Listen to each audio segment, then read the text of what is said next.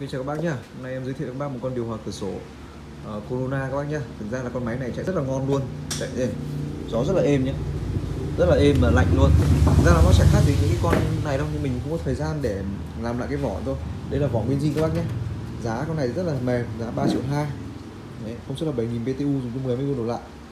Đấy, cũng có điều khiển từ xa nhé, điều khiển từ xa các bác nhé, điều khiển từ xa, điều khiển uh, từ nhiệt độ 20 đến 30 độ C, ba tốc độ gió, Đấy, hẹn giờ các thứ đầy đủ hết máy thì không phải là xấu các bạn rất là đẹp luôn đấy. Ở trong dàn rất là ok các bạn nhé.